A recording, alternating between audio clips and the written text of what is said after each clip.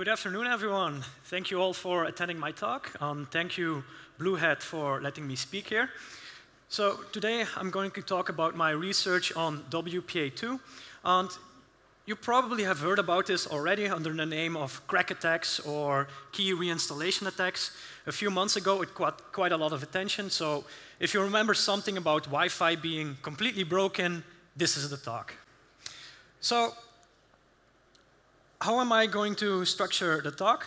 Well, I'm first going to explain the core idea of the vulnerability against the so-called four-way handshake. And I'm going to give some background first, how the handshake works, and then I will discuss the details of the attack. After that, I will explain how, what the impact of the attack in practice is, what can an attacker do with this, uh, in which cases is the bug serious, and in which cases is the impact rather low. Then I'm also going to discuss a few misconceptions because I've seen quite a lot of them floating around uh, on the internet.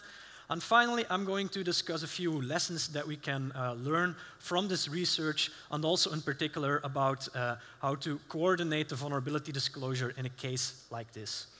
So let's get started with explaining the attack against the four-way handshake. And the first question I have to answer here is, what is the four-way handshake?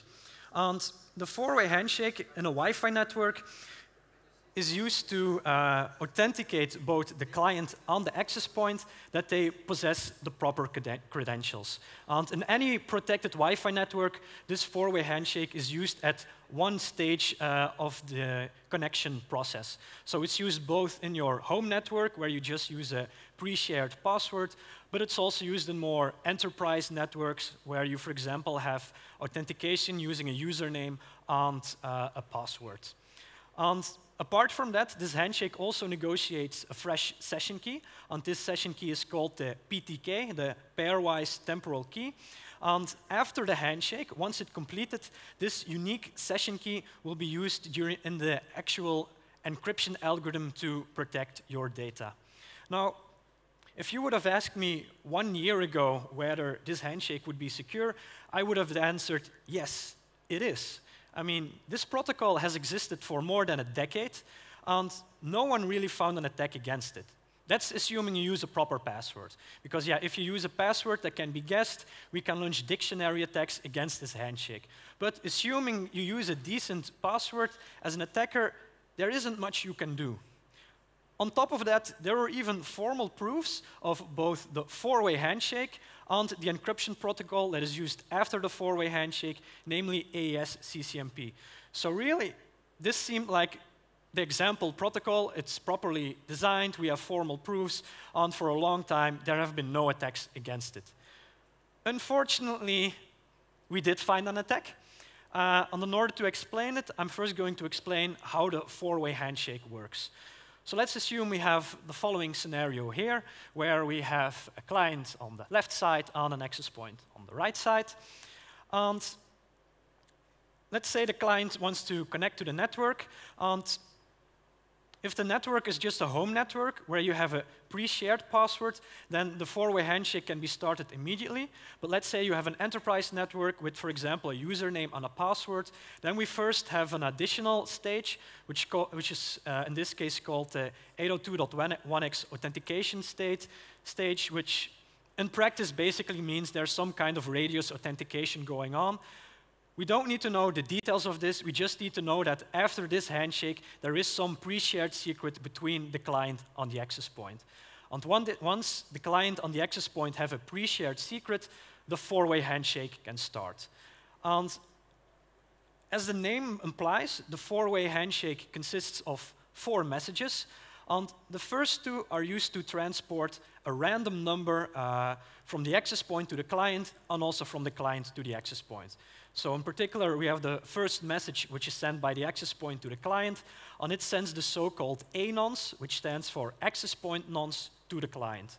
And in response, the client will generate its own random number, which stands for supplicant nonce, and supplicant is just a synonym for client. So it's here the S nonce, and that is sent to the access point. And once both endpoints uh, have received this random number, they can generate this uh, unique session key called the PTK. And how is that done? Well, it's fairly straightforward. You take this shared secret between the client and the access point, which for a home network is just the password of the network. You mix that together with these two random numbers, and the output is the unique session key. So that's fairly straightforward. Now, before we want to continue, I do want to give one remark, and that's that you might have heard about this attack uh, under the name key reinstallation attacks, you know, forcing nonce reuse uh, in WPA2. But I want to clarify, the nonce reuse does not refer to the reuse of the A nonce or the S nonce at this stage of the handshake. So here we assume that the A nonce and S nonce, these random numbers, they are indeed random. Um, we cannot predict them. And instead, the nonce reuse refers to the nonce reuse at a later stage, and I will come back to that. Okay, so that's the first part of the handshake. So the second part of the handshake, we have two more frames, and a bit simplified, these two messages simply verify that, uh, that both endpoints generated the same session key. So the access point sends message 3, the client verifies the authenticity of that message. If that's valid, the client will reply using message 4. And one, once both endpoints have uh, received these messages, they can install the session key uh, for use to start encrypting data frames. So the encryption key is now installed. We are sending data frames, and the last part that I need to answer is how are these data frames being encrypted in a Wi-Fi network? So let's take the following example. We have some plaintext data that we want to send, and the encryption process is quite straightforward. We take this negotiated session key, the PTK, and we combine it with a packet number. And this packet number is called the nonce. And the idea is for every packet that is transmitted, this packet number is incremented by one. And if we then combine the session key with this packet number, we get a unique per packet key. And that per packet key is uh, fed to the encryption algorithm, which for a protected Wi-Fi network is always a stream cipher. Um, and a stream cipher is very straightforward.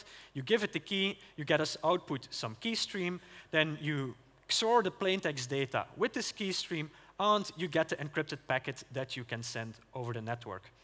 Now, of course, we do add uh, a header to this uh, encrypted packet where we include the nonce, so the receiver can know which packet number was used.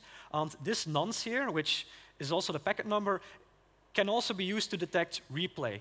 So if an attacker would replay this message again, it would notice, wait, this nonce is already used, meaning someone is trying to replay this message and I'm just going to drop it.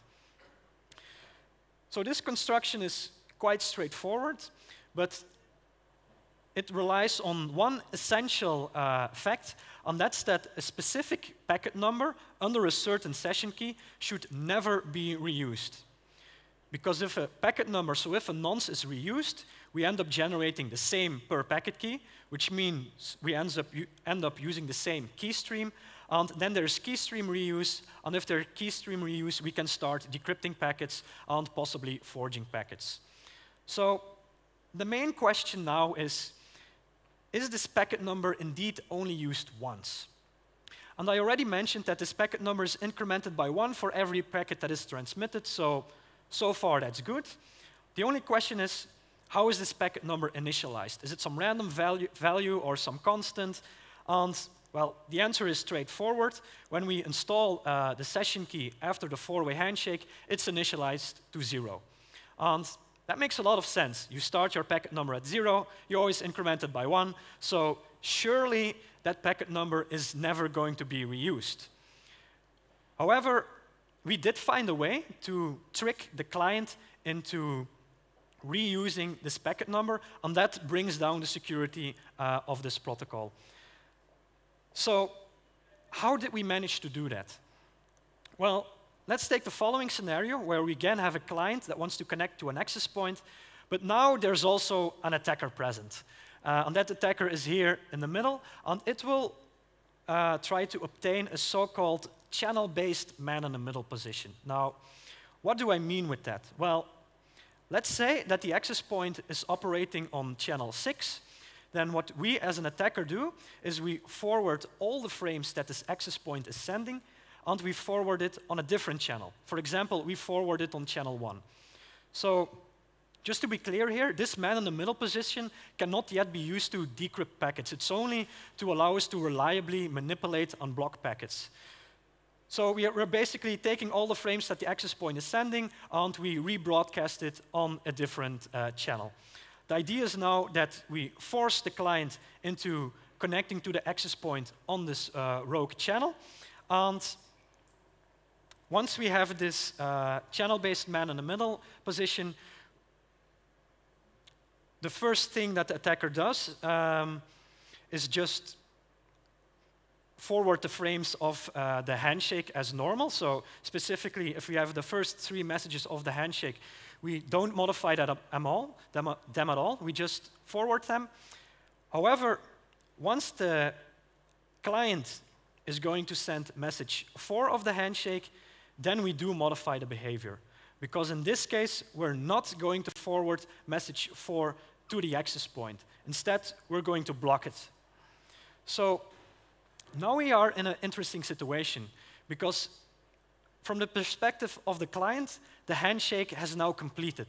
It received all the messages of the handshake, and it also replied using all the messages, meaning it will now install uh, the PTK, it will install the encryption key for use. So let's make some space here and continue with the attack. The client completed the handshake, but the access point didn't. It hasn't received message 4 yet. And the access point will try to recover from the situation by retransmitting a new message 4 using a new replay counter. And because it uses a new replay counter, this message will be accepted by the client, and the client will reply using a new message 4. Now, there's a bit of interesting behavior when the client sends this message 4, and that's that this handshake message is now encrypted under the session key. Now, the standard normally says that message 4 should always be sent in plain text, but every implementation we tested um, will send this in an encrypted fashion, and we will rely on this uh, later on in the attack. And this actually makes a bit of sense because these handshake messages are normal data frames, and the client already installed the encryption key. Okay, so after it replied using message 4, the client will now reinstall the encryption key. That's what the standard says. If the client receives a message 3 or a retransmitted message 3, it replies using mes a new message 4 and you install the keys. And this is where it goes wrong because now the nonce, this packet counter, is reset to 0. Meaning if we now send another data frame, we will first increment this number, so it will be 1, and then we use this value, 1, to send the next data frame. And now we have nonce reuse. Uh, both these messages are sent using a nonce value of 1, which means keystream is being re reused. And this is bad because now we can break the encryption protocol. So how can we, for example, abuse this to decrypt frames? Well, one technique, there are more techniques, but one easy technique is to observe that we already saw message 4 in plain text. We also saw message 4 in an encrypted fashion. And these two messages are almost identical. Some small fields differ, but generally they're the same. Meaning if we just XOR these, we XOR the plain text, we XOR the ciphertext, and as a result, we get the key stream. The key stream corresponding to nonce value of 1. And well, this data frame here at the bottom that we want to decrypt, it also uses a nonce value of 1, meaning it uses exactly the same key stream. So we simply XOR these two, and we have decrypted now a data packet sent under a WPA2 network, meaning we have now broken WPA2.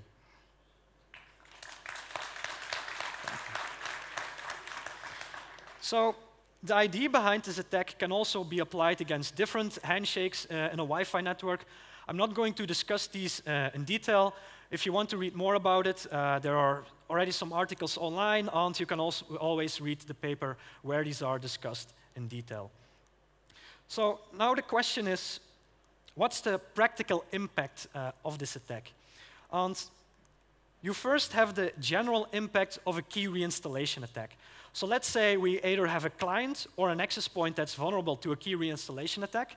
And the client can, for example, be just your smartphone, a laptop, or these days it can even be a toaster. They have Wi-Fi as well. And let's say they're vulnerable to a key reinstallation attack. Then we have two general things that can happen.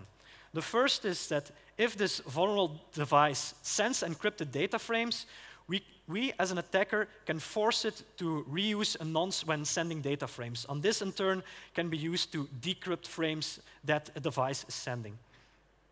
But there's also a second thing that goes wrong, and that's when we reinstall this key, the device will also reset the so-called replay counter. And this replay counter is, of course, used to detect replays. And if this counter is reset, we as an attacker can replay frames that are sent towards the device under attack. So these are the two general impacts uh, that occur when a device is vulnerable to our key reinstallation attack. Now, there are a lot of other factors that also impact uh, the severity of the attack. And one important one is the specific encryption algorithm that is used after the four-way handshake. And if AES CCMP is used, which is the most popular encryption algorithm currently, then the impact is luckily limited to only decrypting on replaying frames. Now, that's actually already bad enough, um, but yeah, luckily we cannot forge frames if this encryption algorithm is used.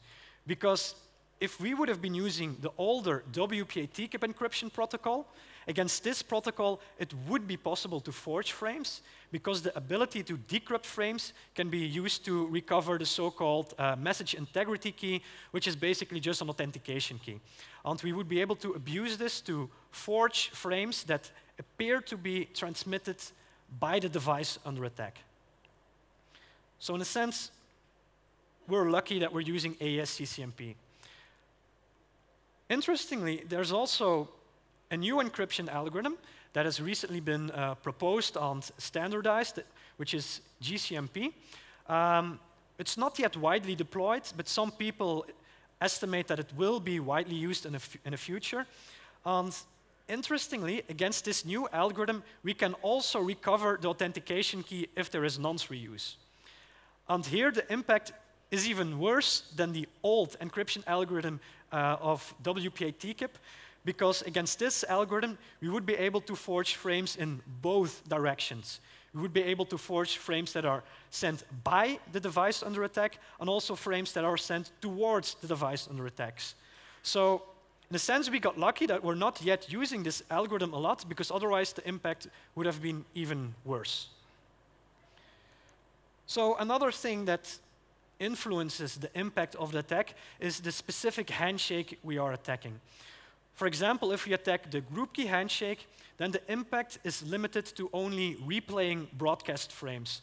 Now, I'm not going to go into too much detail about uh, why this is the case. Uh, again, I refer to the research paper for more information about this. Basically, it's that only the access point sends real broadcast frames, and the client sends broadcast frames as unicast frames to the access point, and then the access point will broadcast this as real Wi-Fi broadcast frames.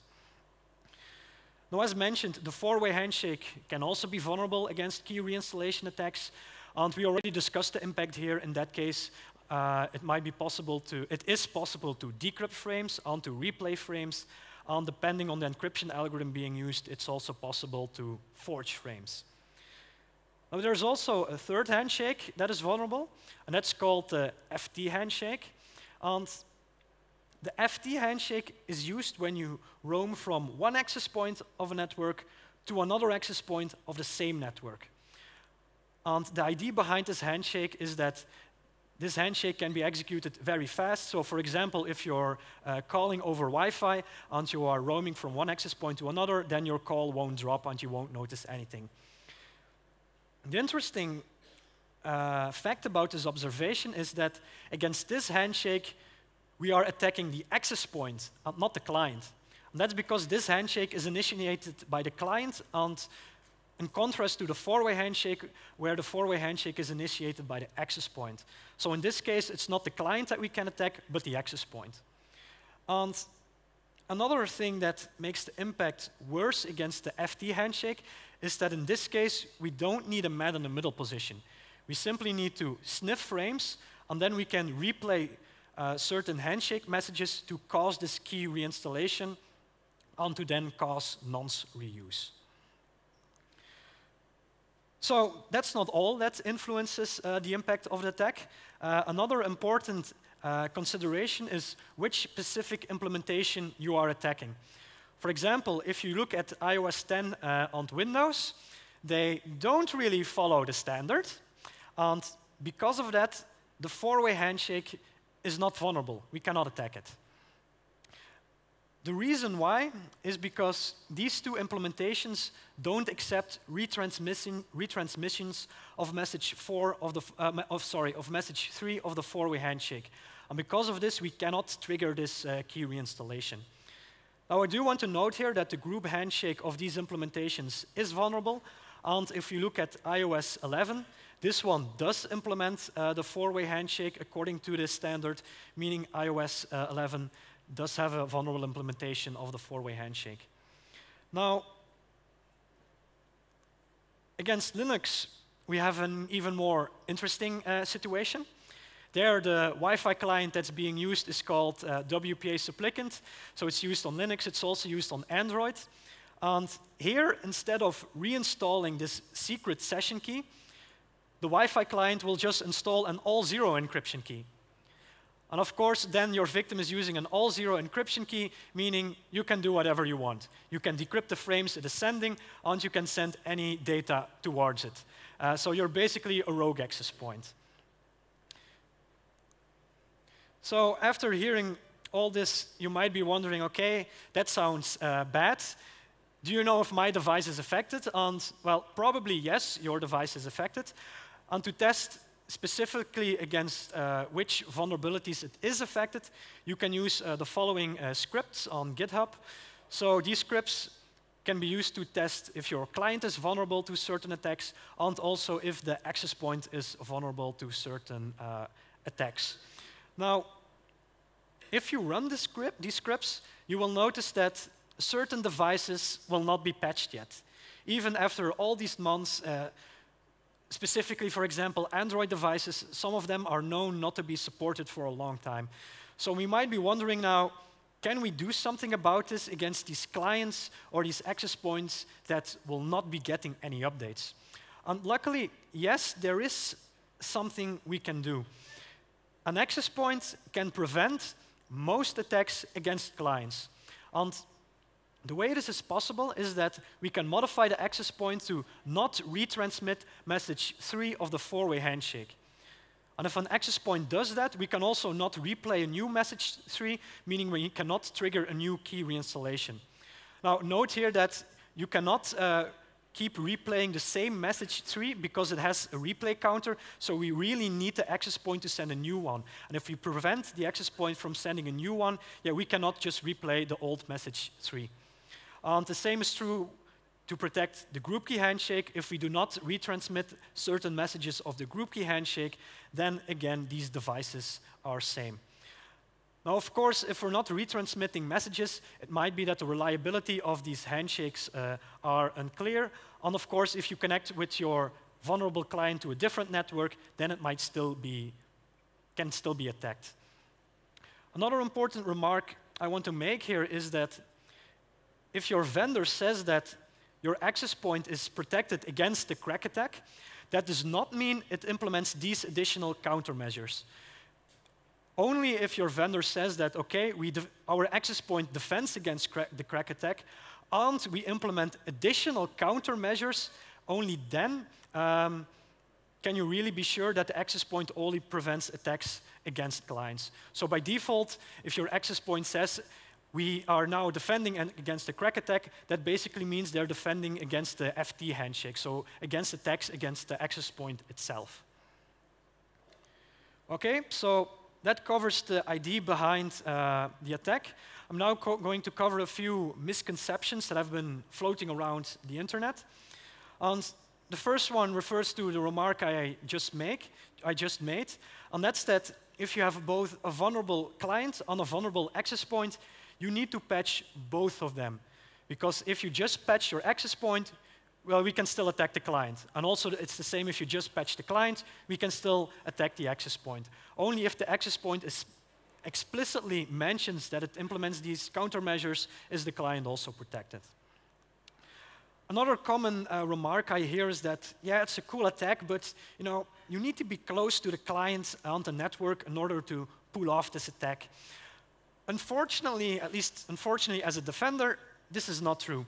Because as an attacker, we can use cheap antenna, and then we can manipulate uh, a Wi-Fi network from up to a range of one to two miles, and we can still carry out the attack. And also to obtain this channel-based man-in-the-middle attack against a four-way handshake, we don't rely on the signal strength of our rogue access point. Um, another important remark is that some people say that you already have to be connected as an attacker to the network, so you need to know the password, but that's obviously not the case because if you already know the password, there's no need to carry out any attacks really. Now, one remark that I do understand is that some people will say that, yeah, you can decrypt frames that are sent right after the four-way handshake, but at that point, is there really interesting traffic? Because, yeah, you just have your ARP request, you have some DHCP packets, maybe a TCP SYN to open a TCP connection, but that's not useful data. Unfortunately, this argument is uh, not true because what we can do as an attacker is we can let the clients connect to the network. We can let it, for example, visit a website. We can let it open TCP connections. And then, when we think the client is about to send interesting data, we just de-authenticate the client. We disconnect it from the Wi-Fi network. And every operating system will then instantly try to reconnect and execute a four new four-way handshake. And while this four-way handshake is in progress, any TCP data that is being transmitted is buffered, and once the four-way handshake is completed, buffer, this buffer data will now be sent, and we will then be able to de decrypt this buffer data. So to summarize, we can trigger these key reinstallations exactly at a time where we expect the client to send interesting data. Another misconception is that this obtaining this channel-based man-in-the-middle position is hard, but as I mentioned, we don't need to rely on signal strength. We can send special Wi-Fi frames to the client that basically instruct the client to switch to our rogue access point. And these are called uh, channel switch announcements. Another common remark is, yeah, again, it's a cool attack, but the attack complexity is hard. But here I would um, give also the example of, for example, uh, low, uh, low level uh, attacks where it might be very hard to write your zero day, to write your exploit. Yes, writing the script is hard, but once you have a working script, you just need to execute it and you're done. So yes, implementing it takes some expertise, but once you have it, you, know, you just have to execute the script. Another strange remark I heard is that if you use, if you use AES CCMP, you're safe, but as I explained, that's not the case because you can still decrypt and replay frames. Then there are some people that also say that enterprise networks aren't affected, but as I mentioned, every protected Wi-Fi network will at one point use the four-way handshake, meaning it can be attacked. And then there are people who also say the opposite, who are like, yeah, the world is burning down, every Wi-Fi network is vulnerable, you know, you should never use Wi-Fi again, but you know, let's calm down, it's not the end of the world. Thankfully, we can patch this in a backwards compatible way. So in a sense, we got lucky. We don't need major modifications to the protocol. We simply need to patch the implementation, and then we can defend ourselves against this. So I'm now going to cover some lessons that we can uh, learn from this research. And the first major lesson, and it's also the reason why I find uh, this attack to be very interesting, is that the four-way handshake was proven to be secure, and the encryption algorithm after that was also mathematically proven to be secure. But if we combine these two, then suddenly the security uh, guarantees vanish. And what exactly goes wrong here is that, yeah, the encryption protocol is secure, and the four-way handshake indeed negotiates a secret key that an attacker cannot guess. However, we managed to make the encryption protocol use this key several times. And the proof of the encryption protocol explicitly stated, yeah, this key should only be installed once and then the proof is valid. Uh, but of course, if we combine these two uh, entities, then this precondition of the encryption algorithm, namely that this key is only installed once, this did not hold. So I would say here that you know, formally verifying protocols is important. We should keep doing it. Uh, formally verifying implementations is also important. But you know, just because there is a formal proof does not mean a system is suddenly 100% secure. We should still be auditing both the proof itself and also whether the code matches the model that is used in these formal proofs.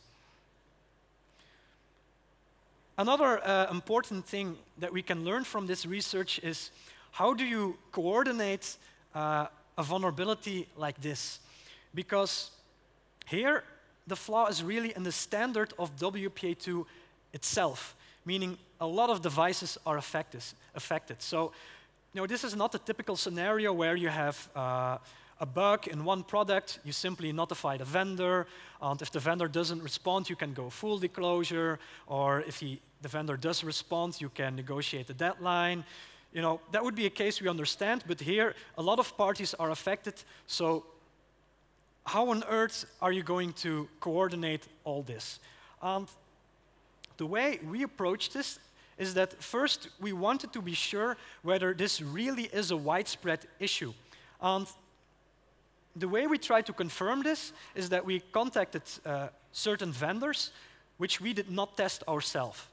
So we have some products of certain vendors which uh, we simply didn't have, and we simply informed them saying, hey, we might have found a flaw in WPA2.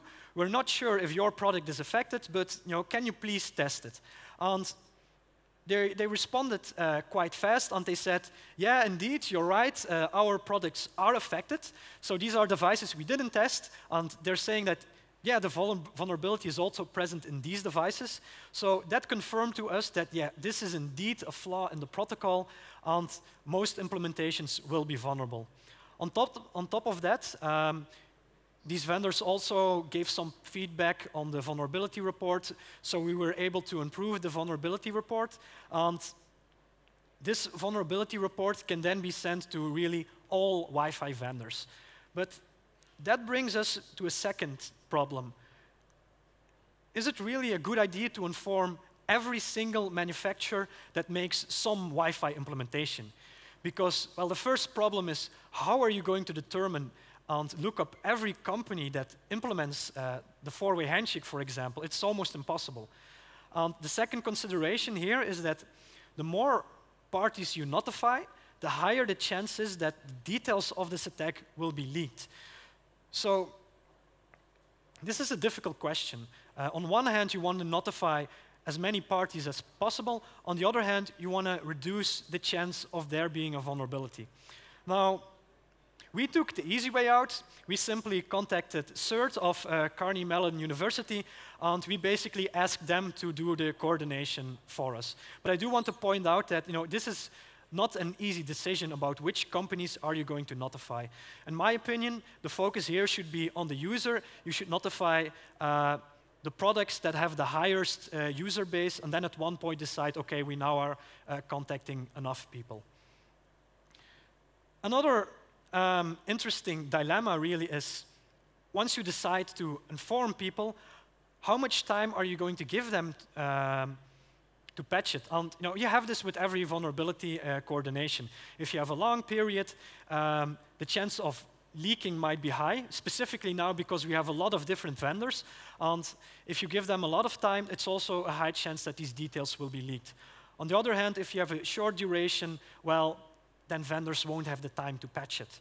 Um, and here, I, the only real advice I can give is, give is, yeah, just pick a deadline and try to stick to it so everyone knows what they're up against.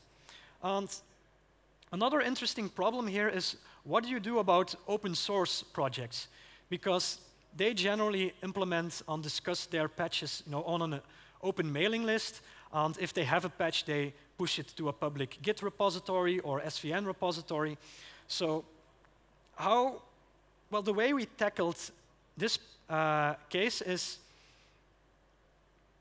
we discussed the patches in private, just uh, over mail, and we also tested them privately. And what we then did, once we were sure that the, that the patches were working, the strategy that we followed, or at least that the strategy of the maintainer of uh, WPA supplicant on hostapd followed, is that one week before the disclosure deadline, um, basically the large open source projects, so the open source distributions, were notified that there was a flaw in uh, WPA2 and that they were able to prepare their uh, packages.